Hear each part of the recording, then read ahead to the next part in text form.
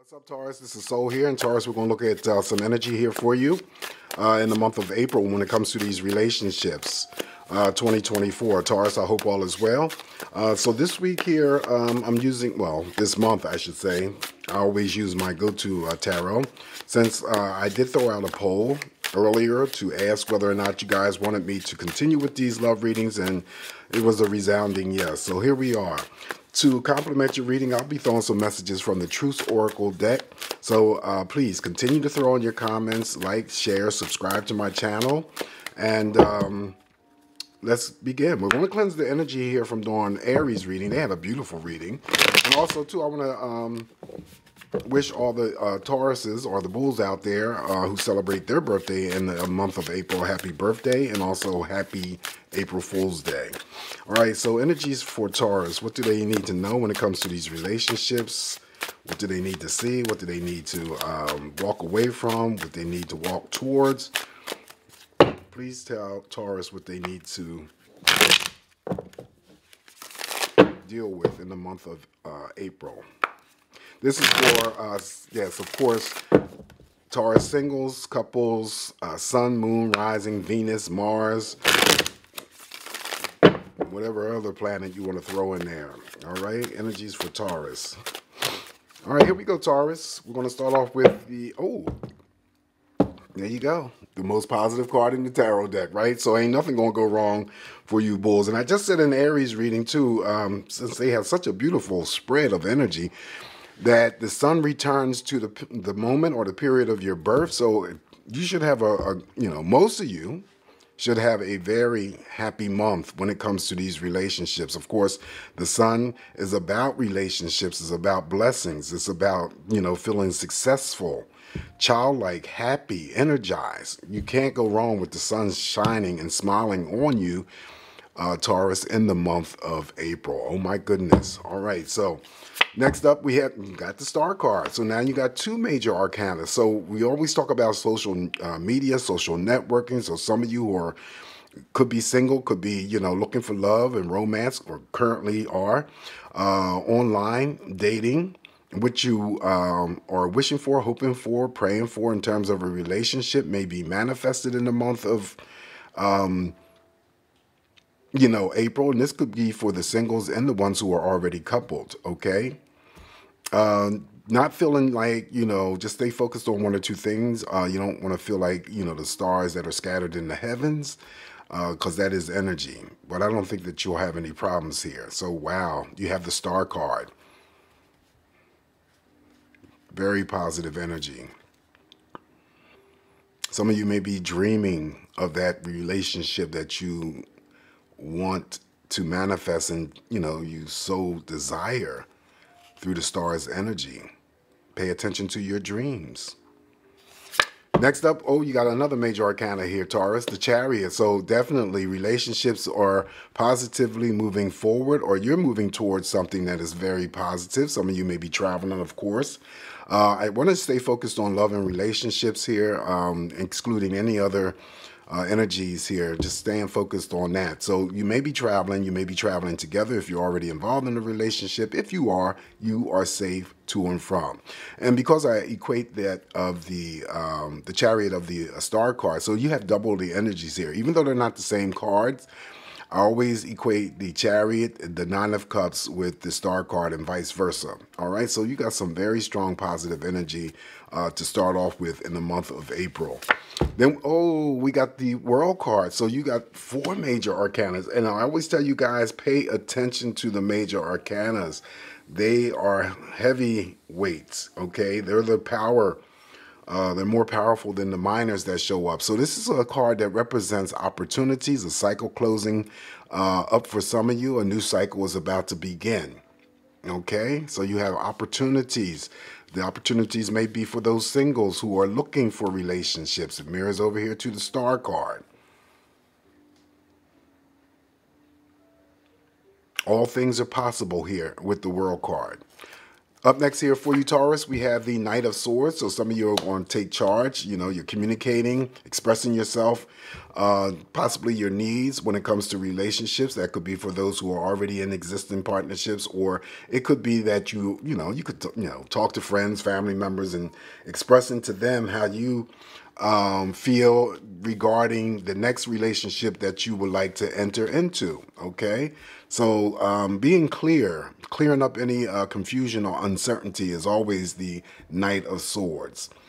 Following the Knight of Swords here for you, Taurus, you've got the King of Wands. All right, so you're attracting energy, you're drawing energy towards you, or you're moving towards it. The King is always focused on something or someone. This card here represents a strong urge of passion, intensity, definitely sexual energy, and sexual expression. Some of you may be in, um, involved with fire, Aries, Leo, or Sagittarius, or there's someone who could be coming along um, that you make a new connection with and they got fire energy. Following the uh, King of Wands, we have the Nine of Pentacles. So your own energy shows up here. This simply just means here in a, a love reading for me there are multiple options, uh, specifically for those single uh, bulls out there. If you are looking to connect, it's underneath the star card social media, social networking, right? Put your energy out there. You got the world card here. All things are possible, opportunities. Mm. So I'm loving this energy here for you, Taurus.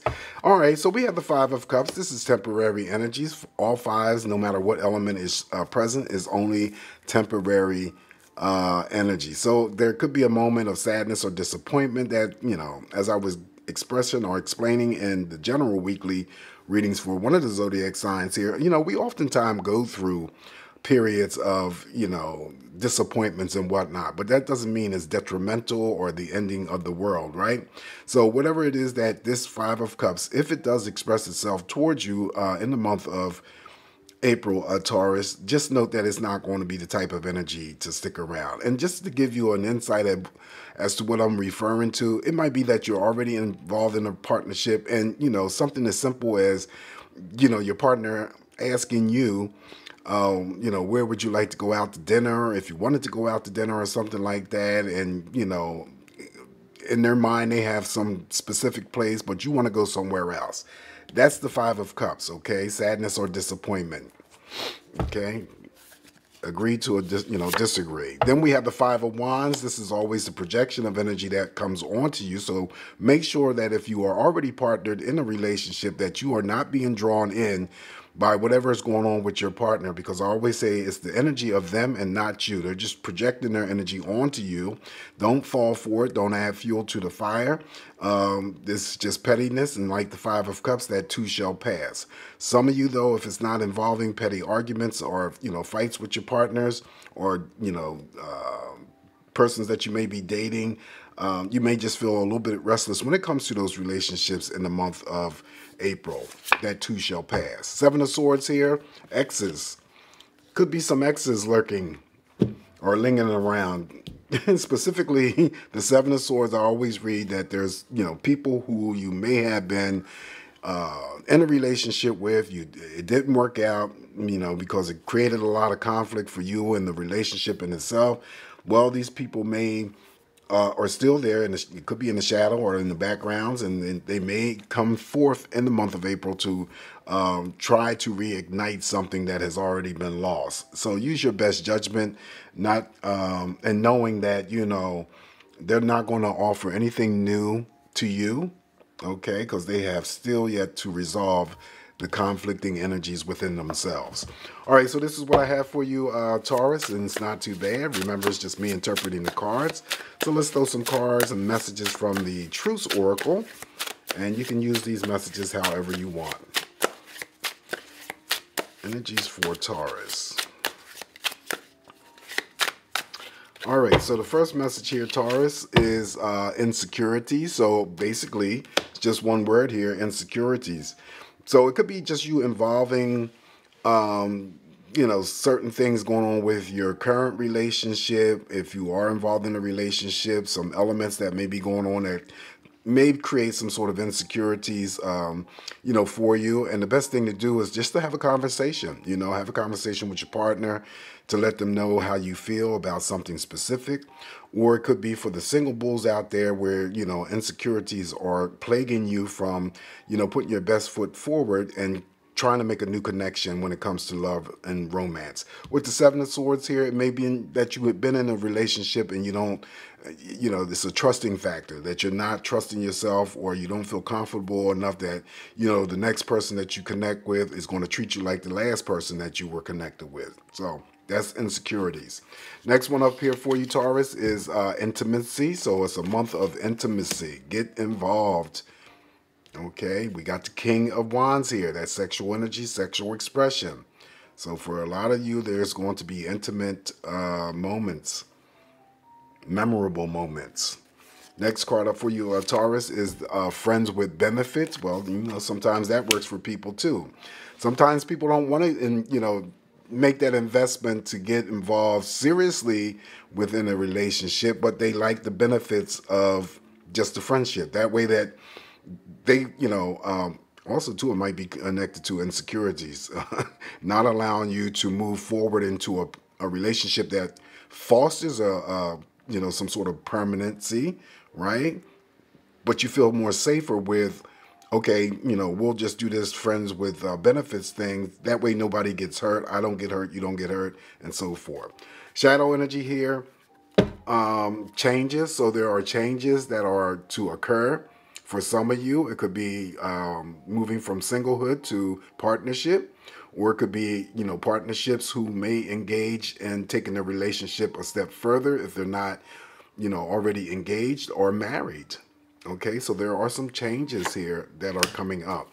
This is what I have for you, Taurus, in the month of April. Again, it's just me interpreting the cards.